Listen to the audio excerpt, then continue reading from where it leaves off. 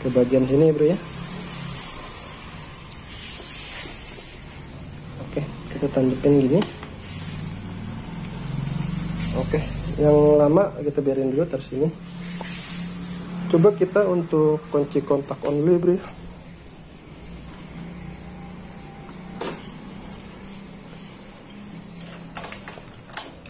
Nah, ini udah menyala ya bro. Jadi untuk speedometer sudah menyala dan kelistrikan sudah normal kembali.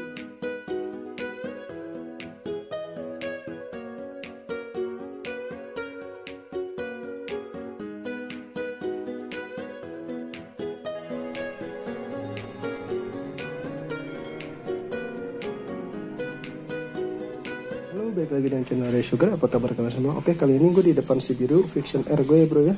Oke, kali, kali ini ada permasalahan nih bro di Fiction Ergo. Jadi gini bro, coba kita masukin kunci kontak dulu ya bro ya. Coba kita masukin kita kunci kontak on. Dia tidak mau menyala. Mungkin kalian akan panik ya bro ya. Ini kenapa nih kok tiba-tiba nggak nyala? Nah, sebelumnya gue pakai nyala apa konslet atau gimana?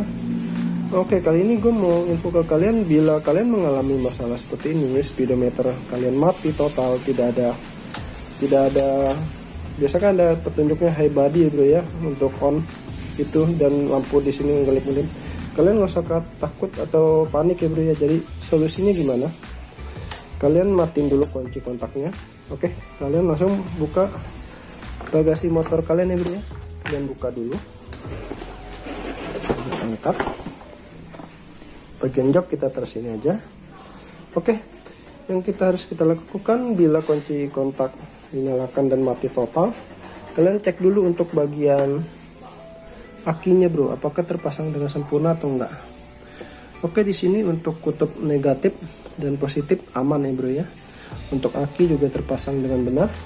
Oke langkah selanjutnya yang harus kita perhatikan adalah apa? Oke di sini ada namanya string bu atau yang disebut dengan pengaman kelistrikan. Jadi untuk pengaman kelistrikan di motor fiction air itu kalian harus perhatikan bagian ini bro. Bukan yang ini ya bro ya tapi bagian yang ini. Nah di sini ada namanya string utama.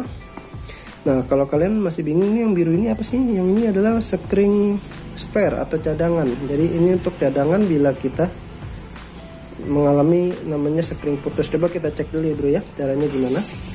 Nah di sini kan seperti ada pengunci. Begini kalian tekan aja tarik. Oke di sini ada keterangannya. Untuk spring itu 15 ampere bro coba kita cabut ya bro ya. oke. Kita cek. Nah seperti kalian lihat di sini untuk springnya ini kalian bisa lihat ya bro ya di sini springnya meleleh atau putus nih bro. Jadi kalau spring putus ini membuat kelistrikan motor jadi padam bro. Jadi nggak nggak ada yang namanya harus menuju ke kunci kontak gitu bro dari aki jadi solusinya apa? Solusinya kita harus ganti ini spring bro.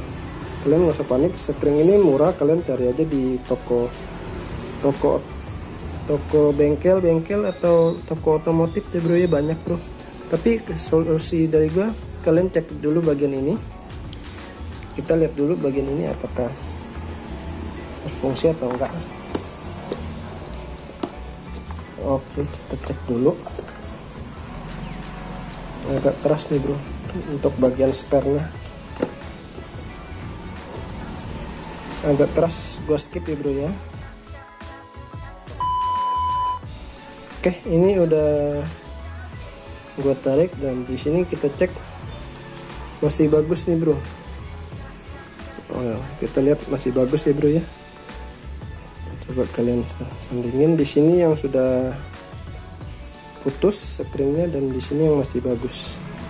Oke untuk spring motor itu usahakan kalau saran gue ya kalian usahakan yang namanya spring yang bagus ya bro ya. Jangan beli yang murahan karena ini menyangkut kelistrikan motor dan pengaman dari kelistrikan motor kita. Oke langsung aja kita coba tancapin ke bagian sini bro ya. Oke kita tanjepin gini oke yang lama kita biarin dulu terus ini coba kita untuk kunci kontak on libre.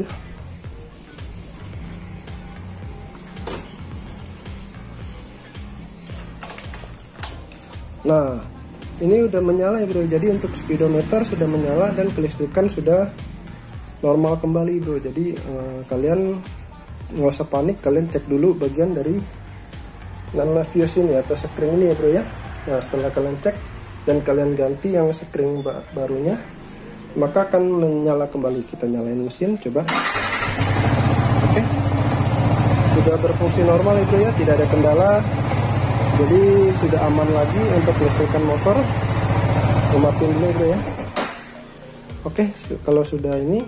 Nah gue mau tips juga ke kalian. Jadi bila kalian ada sempat misalkan spring yang tadi ini kan rusak nih bro kalian ganti lagi aja dengan spring baru. Jadi kalian taruh di bagian sini lagi. Nah kemarin gue udah beli di online shop. Banyak ya bro ya. Kalian cari aja yang spring yang closer yang atau yang bagus nih bro. Kalau yang bagus dia ada lambang tulisan angkanya ini terlihat jelas. Jadi ada tulisannya warna putih. Nah gue beli yang 10 ampere sama yang 15 ampere jadi ini gue buat jaga-jaga aja ya bro. Ya oke ini yang 15 ampere di sini. Nah ini gue beli online bagus juga nih bro. Kalian beli yang bagusan aja untuk motor kalian. Oke kalau sudah kalian taruh di spare yang ini nih bro. Kalian taruh di sini lagi. Kalian masukin gini. Jadi ini sebagai cadangan bila mana nanti ada kerusakan yang sama ya bro ya. Jadi kalian sudah prepare untuk kelistrikan motor anda ya bro. Nah kalian beli ini aja. Satunya sekitar 2500an jadi kalian beli 10.000 udah dapat 4 kenapa gue beli yang 10 ampere ini? Jadi buat motor karisma gue karena Fiction R ini hanya memakai yang 15 ampere. Untuk kelistrikannya ya bro ya paling itu aja tips dari gua. Uh, bagi kalian yang suka dengan video gua boleh di like comment share and subscribe. Thank you udah nonton video gua dari awal sampai akhir bro ya and see you in the next video. Bye bye